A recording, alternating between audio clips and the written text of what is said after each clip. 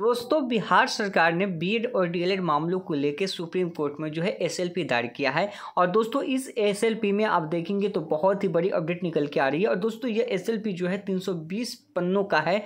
और दोस्तों, इसमें बिहार सरकार जो है काफ़ी मज़बूत अपना पक्ष यहाँ पे रखी है। और अगर इस एसएलपी की बात करें तो इसके तहत अगर सब कुछ सही रहा तो जो बी वाले हैं प्राथमिक में एलिजिबल होंगे।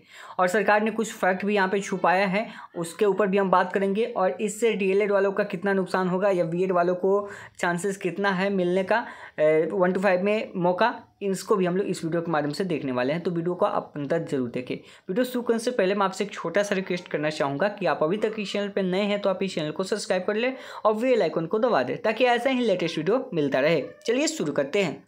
दोस्तों, अगर आप इस पीडीएफ को देखेंगे तो यह पीडीएफ जो है टोटल जो है तीन सौ बीस पन्नों का यह एस दायर किया गया है सुप्रीम कोर्ट में। आप इसको देखे होंगे और यह आपको पता है कि नौ अक्टूबर को उम्मीद है कि इस पर सुनवाई हो। और दोस्तों, इसमें देखेंगे तो बहुत ही मजबूती के साथ बिहार सरकार ने अपना पक्ष जो है यहाँ पे रखा है सुप्रीम कोर्ट के सामने। और यहाँ पे देखेंगे तो ये सभी जो है फॉर्मेट आपका दिया हुआ है। अब इसमें नीचे आएँगे तो कितने यहाँ पे जो केस है, जिसका रिज़ल्ट आया है, सबको मेंशन किया गया है। यहाँ पे अगर हम देखेंगे पॉइंट नंबर नौ में तो यहाँ पे देखिए अगेंस्ट द फाइनल ऑर्डर या जजमेंट डेट बाईस सेप्टेम्बर का जो जजमेंट हुआ था पटना हाईकोर्ट का, जो बिहार सरकार के पक्ष में नहीं था, उसके अगेंस्ट में भी आपका याचिका जो है डाल किया गया है। और इसमें आपका केस नंबर भी मेंशन किया गया है। फिर आप देखिए कि special leave petition along with affidavit के साथ यहाँ पे किया गया है और इसका मेंशन जो है चार से इक्कीस में किया गया है पेज नंबर आगे देखिए यहाँ पे, आगे जब देखेंगे तो यहाँ पे आपका जो जजमेंट था, जो पच्चीस ग्यारह दो हज़ार इक्कीस का जो जजमेंट था, जो राजस्थान वाला मामला था, जो सुप्रीम कोर्ट ने फैसला दिया था, उसको भी यहाँ पे मेंशन किया गया है। उसके आगे जब देखेंगे तो जो टी टी संघ वाला टीचर वाला संघ और बिहार सरकार के बीच जो मामला है, जो केस नंबर जो हुआ है, उसके बारे में भी मेंशन है। आगे देखेंगे तो जो भी ऑर्डर है, जैसे पचासी तेरह एक ऑर्डर है, जो चार सात, चार जुलाई को आया था, उसको भी डाला गया है। यानी ये चीज़ तो केसेस की प्रक्रिया होती है, डालनी होती है, लेकिन इसमें और भी बिहार सरकार अपना मजबूती के साथ गई है, दिखाने के लिए कि यह फ़र्क दिखाइए कि इसके तहत यह चीज़ें हो सकती है। इसीलिए इतना जो है पक्ष यहाँ पे रखा गया है, सारी चीज़ें रखी गई है। फिर से एक कॉपी आया था ऑर्डर अट्ठाईस आठ दो हज़ार तेईस को, जो ऑनरेबल कोर्ट्स के द्वारा आया था उसको भी मेंशन किया गया है। और फिर एक उनतीस आठ को जो है पटना हाई कोर्ट के द्वारा आया था, उसको भी यहाँ पे मेंशन किया गया है। फिर उनतीस आठ को जो पास एसएलपी जो डायरी संख्या यहाँ पे है, उसको भी मेंशन किया गया है। अब देखेंगे तो बहुत सारे केसेस को यहाँ पे मेंशन किया गया है। अब इसमें देखेंगे कि पता चलेगा कि इस सुनवाई में कितना समय लगता है, ये तो बात की बात है।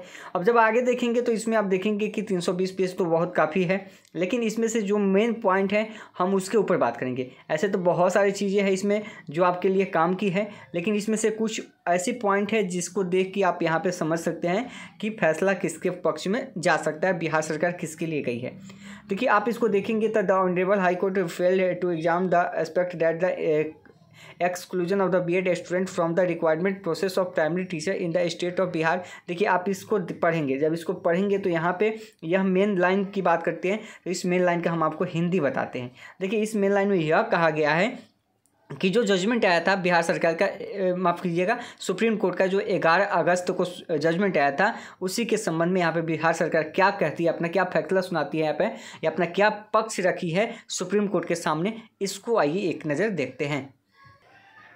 यहाँ पर बिहार सरकार का कहना है कि यहाँ पर यह उल्लेखित करना अत्यंत आवश्यक है कि बिहार राज्य में प्राथमिक विद्यालय के शिक्षकों सहित शिक्षकों की भर्ती के लिए परीक्षा आयोजित करने की प्रक्रिया, निर्णय और आदेश दिनांक ग्यारह आठ दो हज़ार तेईस के पारित होने के दिन ही पूरी हो चुकी थी।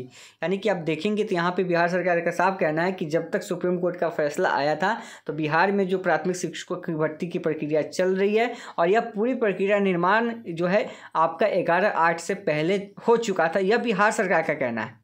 ये तो एक फैक्ट भी छुपाना हुआ, क्योंकि एडमिट कार्ड भी आपका दो तीन दिन पहले ही जारी हुआ था सेंटर भी आपको दो तीन दिन पहले ही पता चला कि कहाँ सेंटर है आपका। लेकिन यहाँ पे फिर से इस पैराग्राफ को हम एक बार आपके सामने पढ़ना चाहेंगे कि कह रहा है कि यहाँ पे यह उल्लेखित करना अत्यंत आवश्यक है। यहाँ पे यानी कि सरकार ज़ोर दे रही है इस बात पे कि सुप्रीम कोर्ट इसको देखे कि बिहार राज्य में प्राथमिक विद्यालय के शिक्षकों सहित शिक्षकों की भर्ती के लिए परीक्षा आयोजित करने की पूरी प्रक्रिया, निर्णय और आदेश, यानी कि पूरी प्रक्रिया, यानी कि कहने का मतलब जो पूरी प्रक्रिया है वह और आदेश जो है, जो आया था सुप्रीम कोर्ट का ग्यारह आठ दो हज़ार तेईस, उसके पहले ही पूरी हो चुकी थी। अब देखिए, ये तो भाई सरासर गलत है, क्योंकि ऐसा तो है नहीं बिहार में, क्योंकि आपको चौबीस पच्चीस अगस्त को एग्ज़ाम भी हुआ था, ये भी बात है, लेकिन यह जो है सुप्रीम कोर्ट से फैक्ट जो है बिहार सरकार छुपा रही है और यह बी वाले के पक्ष में जा रही है। देखिए, मानना है, अब जो बी स्टूडेंट होंगे, वह तो खुशी होंगे कि भाई सरकार आपके लिए लड़ रही है, लेकिन जो डी वाले हैं, वे काफ़ी निराशा होंगे। क्योंकि सुप्रीम कोर्ट का जजमेंट आने के बाद बिहार सरकार जो इस फैक्ट को छुपा रही है, ये तो पूरी तरीके से गलत है। इस माननीय न्यायालय द्वारा और बी सहित सभी उम्मीदवारों के लिए प्रवेश पत्र और प्रासंगिक औपचारिकताएँ, देखिए, योग्य उम्मीदवारों को पहले ही सौंप दिया गया था। देखिए, कहना है कि पहले ही एडमिट कार्ड जो है, सब कुछ पहले ही सॉफ्ट दिया गया था, लेकिन ऐसा कुछ भी नहीं था। यहाँ यह बताना आवश्यक है कि प्राथमिक विद्यालय शिक्षकों के पद पर नियुक्ति के लिए बिहार राज्य को कुल सात लाख सत्तर हज़ार पाँच सौ तेरह जो है, आवेदन प्राप्त हुए। यानी कि टोटल यहाँ पे आवेदन का हवाला भी दिया गया है कि हमारे यहाँ सात लाख सत्तर हज़ार पाँच सौ तेरह जो है, आवेदन आए। उसमें से आवेदनों में से लगभग तीन लाख छियासी हज़ार आवेदन जो है बी वाले अभ्यर्थियों की है। और योग्यता इस माननीय न्यायालय द्वारा पारित निर्णय एक आदेश जो है मेंशन किया गया है। यहाँ पे इन्होंने कहा है कि जो सात लाख सत्तर हज़ार है, उसमें से तीन लाख छियासी हज़ार है जो हमारे यहाँ बी वाले हैं।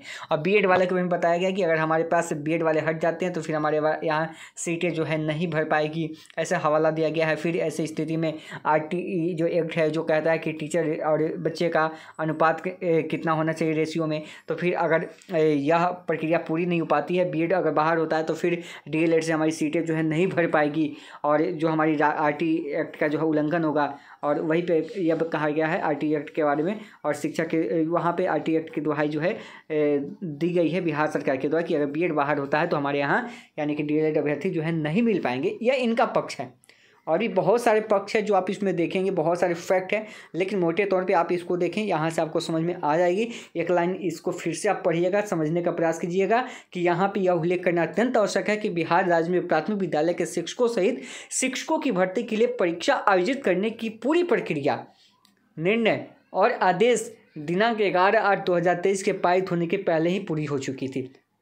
या यहाँ पे हवाला दिया गया है। अब देखिए क्या निकल के आता है जजमेंट सुप्रीम कोर्ट से तो बात की बात है, लेकिन बिहार सरकार गई है तो अपना मज़बूत पक्ष लेके गई है 320 पेज का यह एस आप देखेंगे तो बहुत मायने रखता है और काफ़ी मज़बूत इसको बनाता है। अब जो बीएड वाले हैं, वे तो चाहेंगे कि सरकार उनके पक्ष में फैसला दे और जो बीएड डीएलएड वाले हैं, वे चाहेंगे कि सरकार जो है, उनके पक्ष में फैसला लेके नहीं जाए। उसके पक्ष जो है, अकेला लड़ाई सरकार नहीं लड़े। अब देखिए, जो जजमेंट निकल के आएगी, उसको तो मानना पड़ेगा फिर से, लेकिन अब कहीं ना कहीं बहाली आपकी फंसती हुई भी नज़र आ रही है।